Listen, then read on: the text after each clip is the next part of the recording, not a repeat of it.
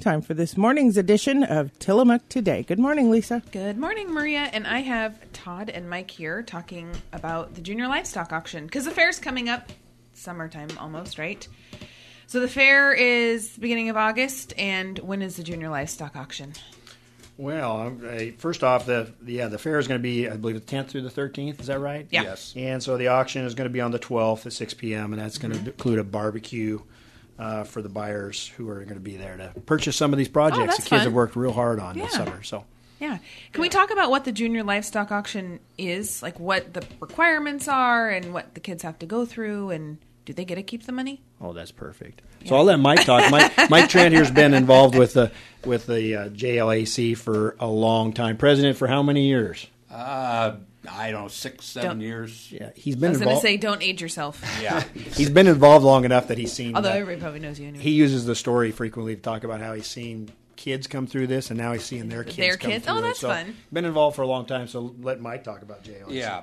Um, I guess it's a group that's put put together 35 years ago. wow. Um, I think Farm Bureau was part of the starting of it. Uh, I think Bill Goodman was one person, and Larry and Marty Rogers was another uh, couple that was involved with it. But anyway, um, it's we take a group, we have rules where the kids have got to weigh their animals in, uh, rate a gain, and then we put an auction together at the last, uh, have a show, um, and put uh, auction together Friday night for them. But there's requirements for the kids to participate. They have to be in 4-H or FFA, right? 4-H or FFA, and they have to Yes. show their animals. Is that right? Yes, they show Mhm. At the uh, fair? Uh, pigs are on Wednesday night, beef and the sheep are on uh, Thursday night, and the goats are Thursday, I think, of the Mm-hmm. fair. And is it more? Is it? There's poultry too, right? Rabbits. Poultry, Yeah. uh, we've done poultry, rabbits, uh, ducks, turkeys. Wow. So we It is kind of fun to walk through the poultry barn or like the small animal barn at the fair when like the poultry and like seeing all the crazy birds and chickens and all those Yeah. kinds of things. Right. I didn't know that there were chickens that look like that. Uh, we have a beef weigh-in in April for our first beef weigh-in, Mm-hmm. and then our major weigh-in is uh, was this last weekend. Last weekend, and uh, we did uh, seventy uh, members weighed animals. Wow. in. And uh, we did two beef, um, ten goats, twenty sheep, and uh, thirty-eight swine. Actually, we did sixty-six swine, but there's kids weigh in extra animals, so their projects will make it. Uh huh. So that's where we're at this year. And we got an upcoming also. We're going to have a poultry weigh-ins where the the ducks and the sheep, or ducks and the uh, uh, chickens are going to be weighed in. Turkeys, Turkeys. right? And that's in uh, April, third weekend, uh, April. I think July Uh, 20th. July, July, right. Yeah. July twentieth. So so there'll be more Going kids. tri- tri- time traveling. Uh-huh. Yeah. There'll be more kids going to be weighing in more animals, so that's going to be great. That's the more involvement we have in this. That's that's a big thing that lately the JLAC has been really pushing is that we're trying to get kids involved in 4-H and FFA, and it gets them so many opportunities to learn about life. Everything Totally. from from uh, raising an animal to feeding it, you know, to taking care of it, to purchasing it, to cost of the feed, all the way down to the sale. And you were talking about whether the kids get the money they do. Yeah. Yeah. At the very end, the kids are going to get this animal's going to be sold. Uh, JLAC facilitates the sale and the auction, and the kids get to take that money home. So they Mm-hmm. Also get a benefit to, that there's a financial incentive. They understand uh, the finances of uh, raising livestock, but Right. Yeah, it's a great deal. Yeah, it's good. I mean, it's a lot of fun. It's a lot of work for us, Oh, I'm sure. you know. So, Yeah. Yeah, it's a lot of kids to manage and animals to kind of help coordinate all Right. of that. Well, there's you know it's from the very beginning. The kids work really hard. I, I, I have I, I want to make note that the cost of these projects are increasing every year. Sure. I- what's the average uh, person paying right now for a, uh, a market swine project just to get the animal purchased? It's anywhere from two to two hundred and fifty dollars for just the the swine. you mean that's the cost of feed and stuff? Um, no, like no, that? that's Oh, just what the they're cost of buying. the animal. Oh, gotcha. Okay, yeah. then you got feed on top of that. right. So and beef, or I don't know what the kids are paying for beef. Mm-hmm.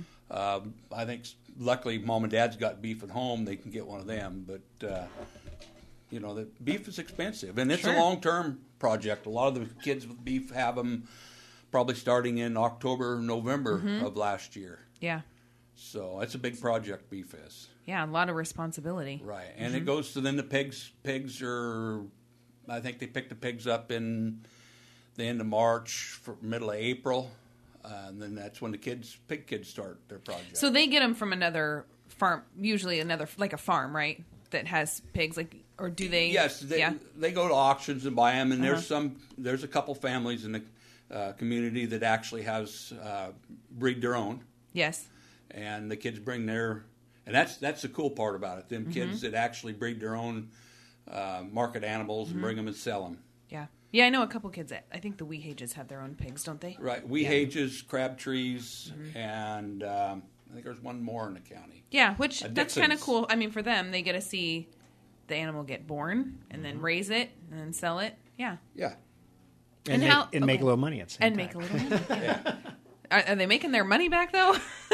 Well, they are, and that's what that's that's where the junior livestock auction committee really comes in, and Mm-hmm. and uh, we we you know we start out you know, when I started uh, becoming a member, I thought it was just going to be helping out with a fair, but holy cow! I mean, you start literally from the end of the fair. We'll start talking Planning about 2017. Yeah. Mhm. That's everything from That's trying to it is with find trying to find like. auctioneers, trying to Yep. facilitate how we're going to get buyers to the auction, um, how we're going to get checks to the kids, and weigh-in dates. I mean, you name it, it goes on Mm-hmm. and get people to help with the weigh-ins Yes. and stuff like that. Yeah. help with the fair. Yeah. That's- yeah. Yeah. That's do you one, need? so. Do you always need help with the fair? I mean, do you want to put a shout out to well, get some volunteers? We have we have a lot of needs. I don't. Uh, unfortunately, I think the fair. Well, fortunately, I think the fair. We we pretty much uh, through the years, Mike's got a smooth operating a group of people group that, of people yeah. that Yes. really works. The whole committee works really good together. But uh, we do have a couple things that are in the works right now, and I'd love to talk to them if we got a second about it. So Yeah, go ahead. One of the things that um, one of the things that I, we, we spoke about is that kids nowadays they're getting tougher to get them involved in livestock projects. It's Mm-hmm. Yeah. tougher. You know, we're we're competing with uh, sports nowadays that Yep. are year round. If you pick a sport, we're competing with a ton of computer programs, cell phones, you name it, family commitments. Mm-hmm. Yep. And we're trying to get kids involved. So here recently, uh, the Junior Livestock Auction Committee uh, went in cooperation with the Tillamook Shooters Association Mm-hmm. on Fraser Road, and we created what we call a land lab. They got a barn out there that is a uh, it's an abandoned barn that um, they have provided an opportunity for us to give kids a chance to raise animals. So if you live in Tillamook um, or any city Mm-hmm. um, and you don't have the area to raise, let's say, a sheep or a, you Yeah. want to do a, a pig a, a pig project, then uh, we now have the opportunity for those kids to do that. That's cool. So I, I really want to get the word out that you know 2016, of course, is too late to, Right. to get on board. But But for next year. 2017, we're going to do a big push for Mm-hmm. Tillamook County to get kids that maybe don't know anything about livestock or have done small animal projects and are interested in doing a bigger animal project, Mm-hmm. Right. an opportunity to raise like a pig or a sheep or a, Yeah. a goat. And for that matter, we haven't even we haven't we haven't completely said no to the beef, but I think beef's an opportunity out there too. Mm-hmm. And and the Shooters Association has worked worked great with us because they really want to help youth out in the community. That's So- awesome. Yeah, if you're living in city limits, I don't I don't even know if it's legal to have a pig in your backyard. I don't know. I don't know what the regulations are, but even I mean your backyard's probably not big enough to have a sheep or a goat or whatever. And, and that's what this thing's Yeah. all about. That's And- awesome. And so they have, um, we've got pins built up up there. And I mean, 4-H and FFA have been instrumental in helping us out on this project because you know a lot of people ask, they say JLAC, they kind of, I think they think we're we represent one group. We don't represent any group. We're just facilitating the Mm-hmm. The auction. The auction. right. Right. Yeah, um, the for- animals. for, the for the students of both FFA and 4-H. right. You know, Right. Both are really important, and, and both are welcome up at the Land Lab too. So we have the advisors with FFA uh, on board, and we also have uh, the leaders on 4-H to help us out up there. So- Cool. How would somebody get a hold of you to do Well, that? Do yeah, wanna- the biggest thing is that uh, you pro- you need to be an FFA or 4-H member Sure, to have your animal point, up there. yeah. So the best thing to do is if you're in high school and you're interested in FFA, you get hold of Brooklyn Bush. Mm-hmm. She's the FFA advisor there. Or you, if you want to do 4-H, you go to the extension service. Right, which I'll And- here I'll plug their number eight four two three four three three. Perfect, and Yep. then talk to Joy down there, and she'll be able to line you up on how to get it, get hold of us and get part of that. Program. That's a really cool opportunity. I really think so. And I'll say, I mean, I don't have animals now. I have uh, dogs and cats, but um, I raised sheep when I was in junior high and sixth grade and high school, and it was fun. It was fun, like to have a little baby lamb, and we had our own like our sheep actually, our ewes actually gave birth, and then we raised them and took them to fair and auctioned them off. Yep. I don't remember what happened with the money. I'm, I was like 11 years old, so That's what happens when they give Yeah. you the check. It's up to you to spend it appropriately. Right. but- Well, I'm wondering if maybe my dad took something with it. I don't know. well, we're hoping that people will put some of that money away Right, for the yeah. next year's Well, projects. yeah. But I, I know raising Or kids college myself. or yeah, something. Yeah, Yeah. that isn't happening. Uh, we're going to take a quick break, talk about Tillamook Country Smoker. You're traveling along, enjoying the scenery, and six miles north of Tillamook on Highway 101, there it is Tillamook Country Smoker, a family owned business that's been turning out a unique brand of beef jerky for over 40 years. It's juicy, tender, and it's good. Stop by their retail store off of Warren Street at Highway 101 in Bay City. They're open 9 to 5, seven days a week. You're going to find everything two foot long pepperoni, teriyaki, and beef sticks for just a dollar, and excellent summer sausage. There's always something on special. Those one pound bags of beef jerky are a great buy. Tillamook Country Smoker, if we're going to eat healthy, this is the way to do it. Be sure to visit them online at tcsjerky.com. So we're here with Mike Trent and Todd Hudenpile from the Junior Livestock Auction. So Mike, you're the you said you were the president Yes. of the auction committee. Right. Yeah, and Todd, how are you involved? What do you do? He's my marketing chairman. ah, you always need a marketer. And right. I, I get I get hazed at just about every event, so I'd like to throw that out there. I'm hoping that we get a new member of it eventually here, so I can kind of move up the ranks a little bit.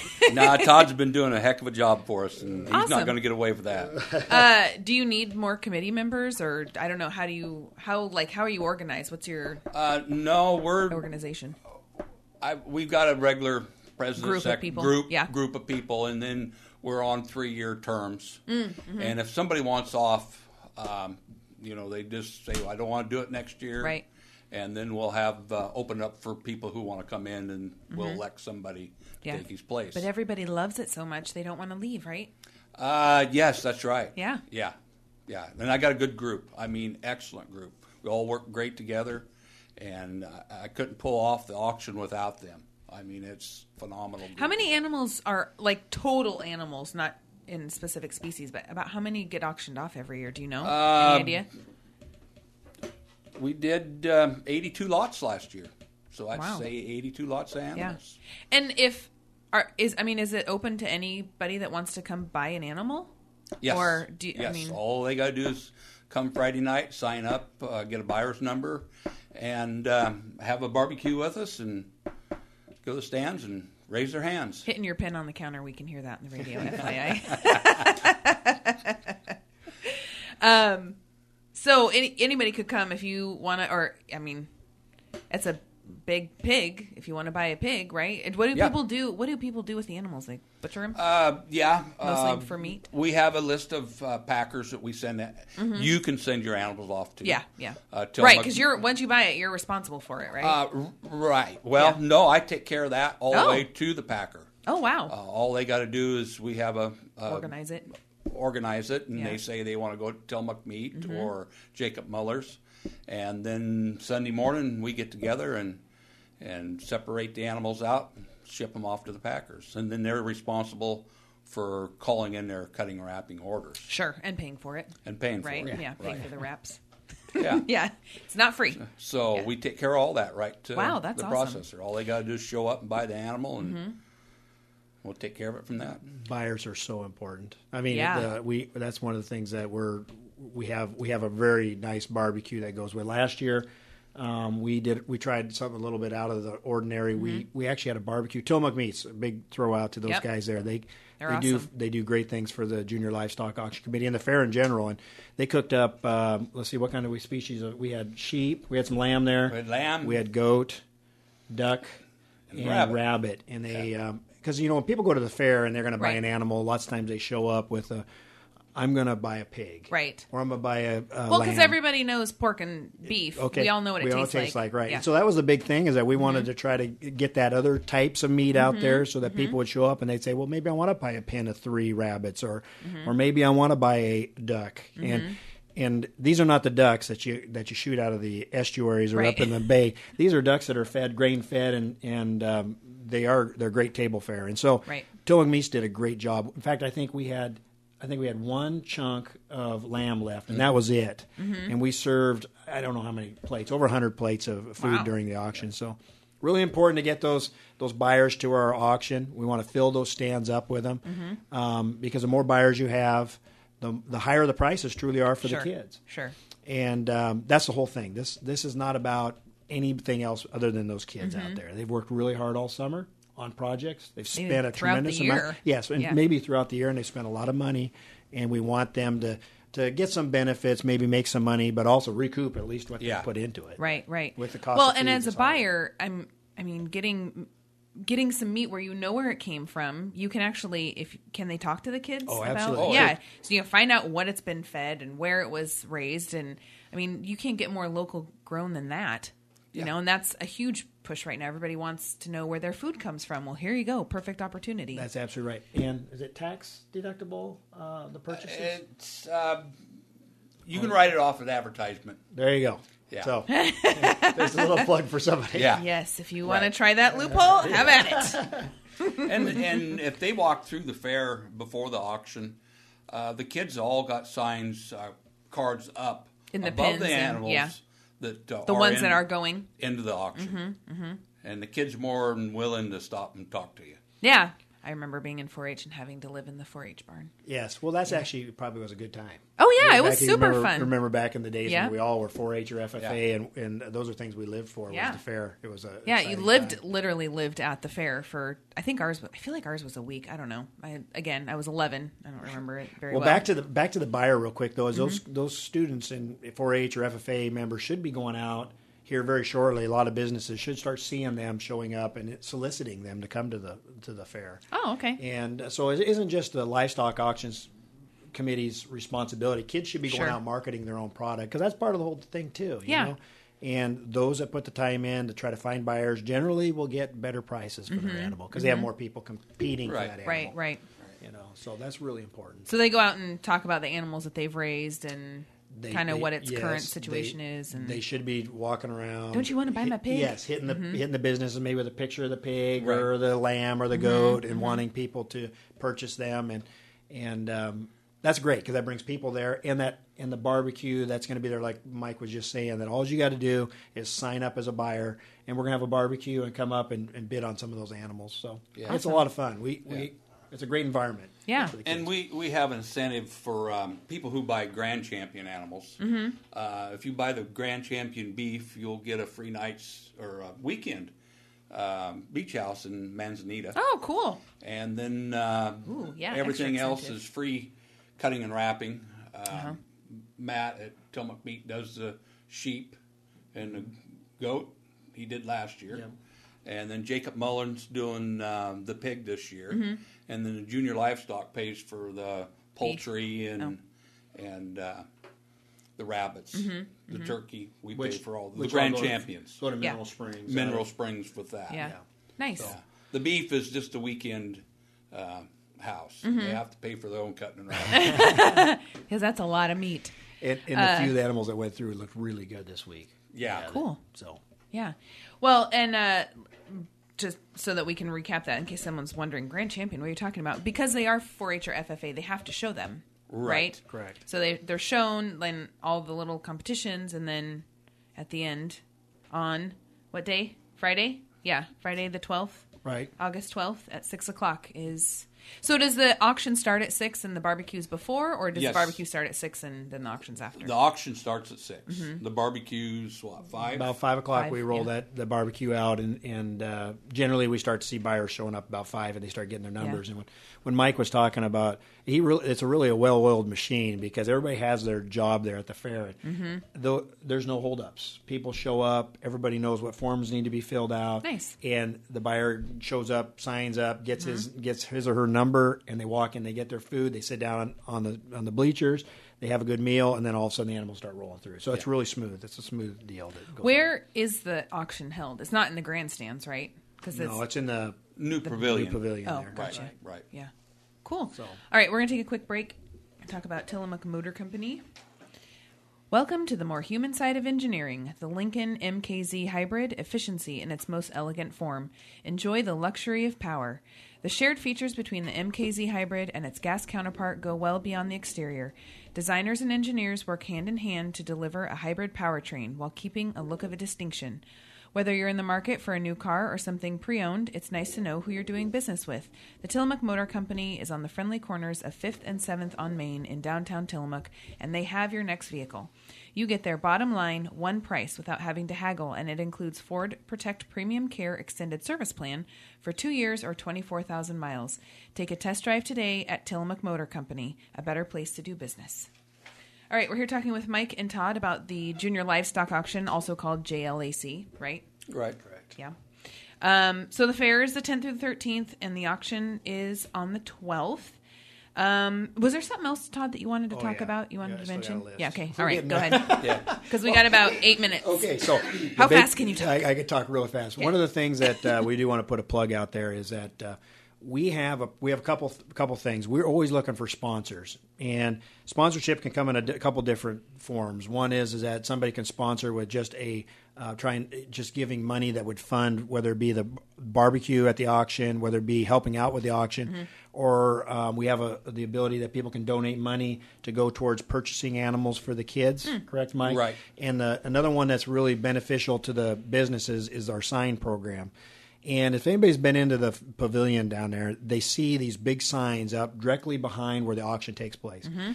Four by Four by four. four by four signs with your business logo on it, and uh, the cost of those are five hundred dollars. Mm-hmm. Now you think five hundred dollars that's quite a bit of money, tax deductible as advertisement, and it stays up for three years.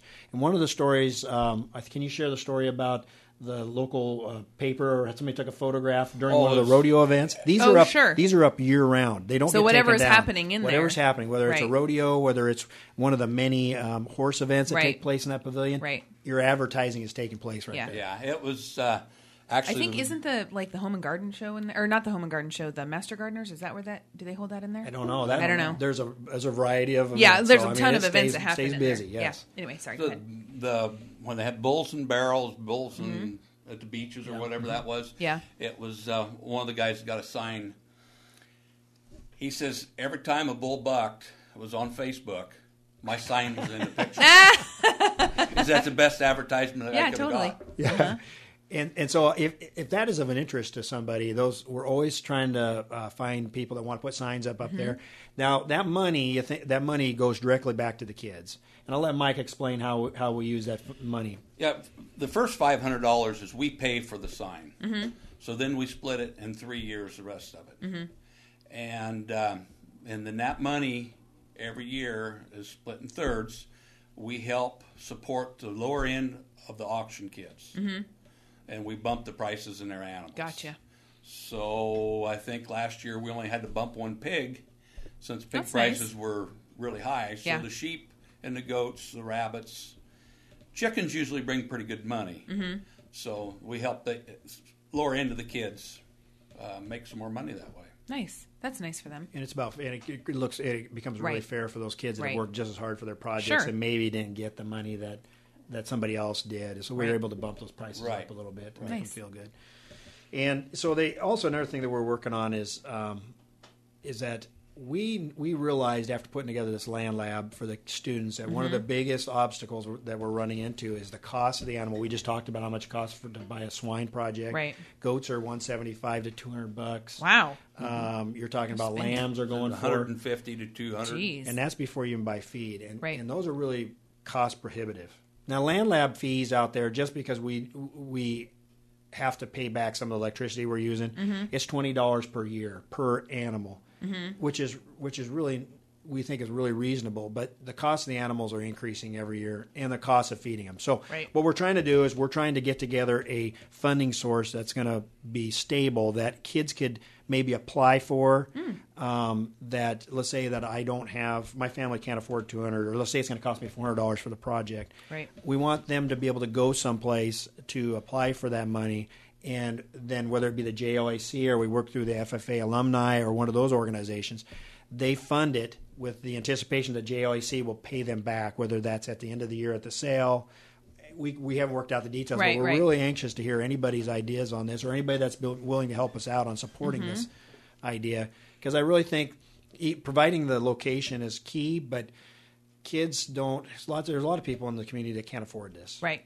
And Right. what a great opportunity for them to learn So I, I think it's money well spent, and that kind of that kind of program would be self funding because really once you once you get the funds into the let's say the bank account, the money keeps getting repaid every year, so it doesn't y- you aren't losing money, and you're not money's not going out and having to solicit more money in the Right, long right. run. So Well, and let's real quick recap. The Land Lab is uh, a farm, right? A farm-ish, a barn. yeah, it's a A, barn, a on- piece of land yeah, where of land. kids who maybe don't have the opportunity because they don't have their own land to raise an Right, animal can correct, have their yeah. animal out there and raise it, just in case somebody missed that. The Right, and then and then and then our idea is this next year pushing the land lab, but also finding a funding source that would allow these kids to apply for some some grant money, Yeah. so to speak, to Yeah. Mm-hmm, either fund the project or help fund the project. You know, we're not saying that we want the whole project to be paid for because kids learn a lot more when money comes, a certain amount of money comes out of their pockets. Right. But there's just getting that animal bought is really cost prohibitive because people can't come up with that kind of money sometimes. Mm-hmm. yeah, that's, so- I didn't realize they were that much money. Yeah. Animals and feed is